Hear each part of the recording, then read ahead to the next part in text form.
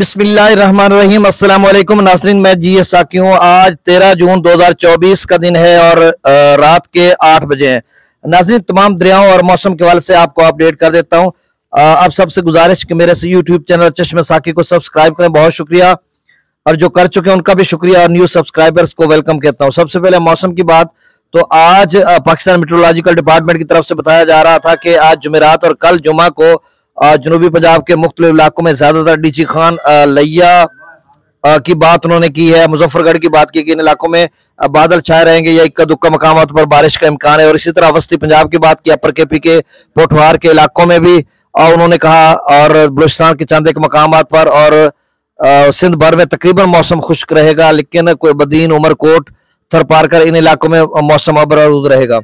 اور باقی جو بارشوں کا جو سلسلہ، مونسون کا وہ اٹھائیس جون سے چار جولائی کو بھی کہا جا رہا ہے اور اس سے پہلے سولہ سے بیس کے درمیان بھی ایک ہے مطلب نسبتاً کمزور ہے اور اس کے بعد تو پھر جولائی کے مہینے تو باقاعدہ چار پانچ سلسلے ہیں جس طرح سے بتایا جا رہا ہے۔ اب دریاؤں کا ڈیٹا شیئر کر دیتا ہوں۔ دریائے ستلج کا بھی بتاتا ہوں اور باقی دیگر دریاؤں کا بھی۔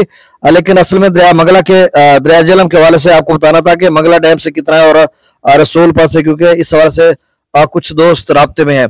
تو تربیلا ڈیم اور مغلہ ڈیم سے مسلسل پانی کو نکالا جا رہا ہے۔ اس لیے کہ جس طرح سے بتایا جا رہا ہے کہ غیر معمولی بارشیں ہو سکتی ہیں، تو اس کے پیش نظر ڈیمز کو تھوڑا اور اس کا لیول کم کیا جا رہا ہے۔ تربیلا ڈیم کا جو اب لیول ہے، وہ چودہ سو چالیس فیٹ تک آ چکا ہے اور یہ تقریباً کوئی چودہ سو ساٹھ کے قریب تک پہنچا تھا اور مسلسل یعنی چودہ فیٹ زیادہ پانی اس میں سے نکال کر اس کا لیول کم کیا گیا۔ اسی طرح مغلہ ڈیم کا جو لیول ہے، وہ گیارہ سو تریاسی فیٹ ہے اور یہ گیارہ سو نوے تک گیا تھا، سات فیٹ یہاں سے بھی پانی کو نکالا گیا۔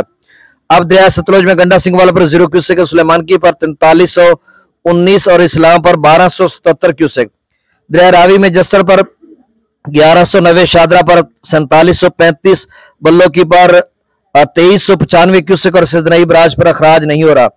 دریا چناب میں مرالہ پر پانچ ہزار کیوسک خان کی پر سینتیس سو بتیس، قادرآباد پر زیرو، ترمو براج پر تیرہ ہزار چار سو انتیس، پنجنت پر پانچ ہزار ترانوے کیوسک اخراج ہو رہا ہے۔ دریا جلہ میں منگلہ ڈیم سے جو اخراج کی جا رہا ہے، وہ ستر ہزار کیوسک رسول پر سے اخراج، چھیالیس ہزار چار سو چھیانوے کیوسک تو ناظرین، یہ صبح جب میں نے آپ کو اپڈیٹ کیا تھا، تب بھی یہی تھا، ستر ہزار کیوسک تھا۔ اور میں نے آپ کو کہا تھا کہ شاید اس میں لیول کم ہو جائے، پچپن ہزار یا نیچے رسول انیس پہ آ جائے۔ لیکن بعد میں جو انہوں نے اپڈیٹ کیا ہے ایف ایف ڈی نے تو اس میں سیم ڈیٹا آ رہا ہے۔ ابھی بھی یہی آ رہا ہے کہ ستر ہزار مغلہ ڈیم سے چھوڑا جا رہا ہے اور رسول پر سے اخراج چھیالیس ہزار چار سو چھیانوے کیوسک ہے۔ دریا سندھ میں سکردو پر چھتیس ہزار پانچ سو کیوسک، پی بریج پر اٹھاون ہزار پانچ سو کیوسک، بشام پر ایک لاکھ تیئیس ہزار نو سو کیوسک۔